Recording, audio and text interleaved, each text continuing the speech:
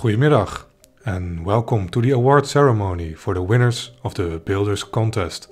Many players have put hundreds of hours into building intricate worlds and we want to showcase the winning 5 worlds in this video. You are already looking at the winner of the 5th prize, Araria by SP Beards. This is a world with multiple decorated towns and outposts, with infrastructure in between. When you view all of them together from a distance, the combination looks beautiful. But viewed from up close, it also has interesting details and massive defenses. The fourth position is for this world, built by Vido Vascovi. Apologies if I butchered that name, but it's going to happen more often in this video. This world contains a compact city with cozy streets and squares, filled with many interiors and named workshops. All of the buildings have beautiful facades and the squares have little monuments. On top of the hill is an enormous castle with a large decorated interior. The related page for this upload on the Steam Workshop doesn't contain much information, just an apology for forgetting to turn off the crosshair for the screenshot. SP Beards, the winner of the fifth prize, left a comment though. He says the town really feels like a Bavarian or Austrian town in the late 1800s, and I do agree with that. And we have now switched to a new world. This is the winner of the third prize, meaning we've entered the podium spots.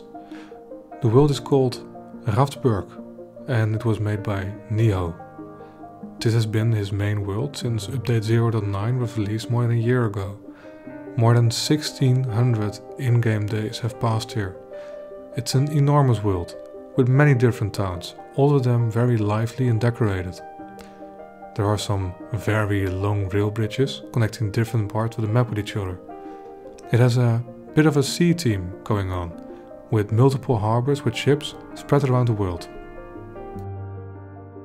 The second place goes to Minnesota, made by a group of four players.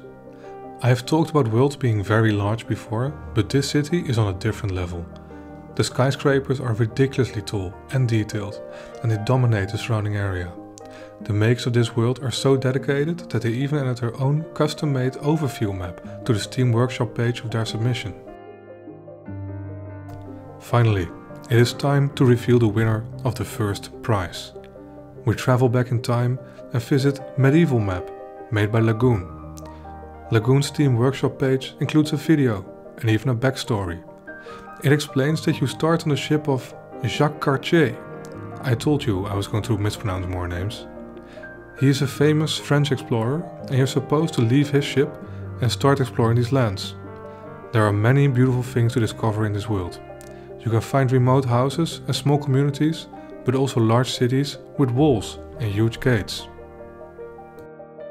We are seriously impressed by the effort that all participants put in and the amazing results they were able to achieve in so little time.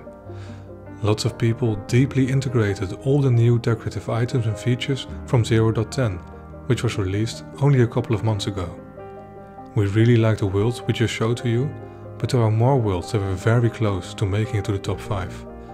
All of these worlds both winners and not winners, are available on the Steam Workshop. Here you can download them and explore them yourself, something we definitely recommend you do. We will get in touch with the winners and send them the prizes.